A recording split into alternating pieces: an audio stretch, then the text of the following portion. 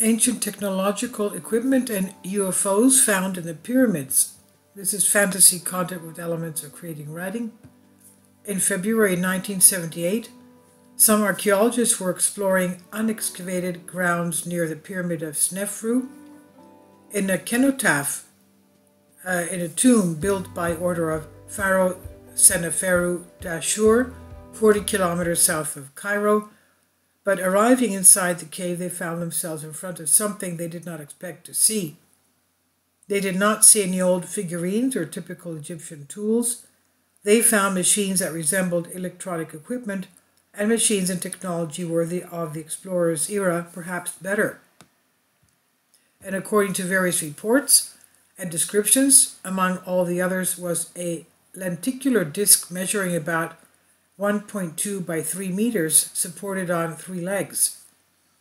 It was a smooth and shiny metallic material that did not seem to be affected by the passage of time. This material was in excellent condition. The archaeologist researchers were speechless.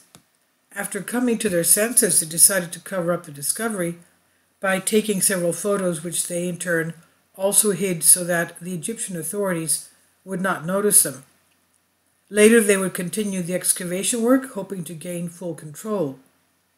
The photos, unknown how, reached the Ministry of Defense of Israel, and there a top secret military directorate was set up with the uh, objective of the great discovery and how to get it into their hands because it was in a foreign country.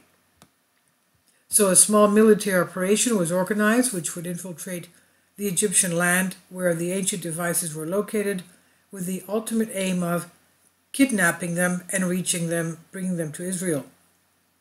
The operation was planned for March 1st with 100 commandos, three transport planes, a field hospital, light weapons, and jeeps.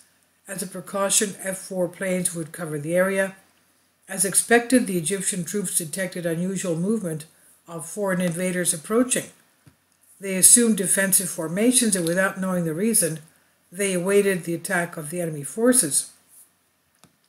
Around dawn, Israeli transport planes arrived at the dig site as planned. The Egyptians sent a small scouting party, not suspecting the importance of the operation. A short battle ensued with wounded on both sides. The Israelis won the battle. Was it worth it? It was obviously worth it for the winners. While the exact content they stole was never learned, it's not hard to imagine Possibly the technology we possess today is not entirely of human invention and inventions, but now how much truth can there be in all of the above, as well as the whole enterprise? Nobody knows. This I've translated for you from a Greek article. Please leave your comments. Thank you for your support. Kindly support my Patreon account the daily posts are five videos daily, and they are totally different from what I have on my YouTube channel.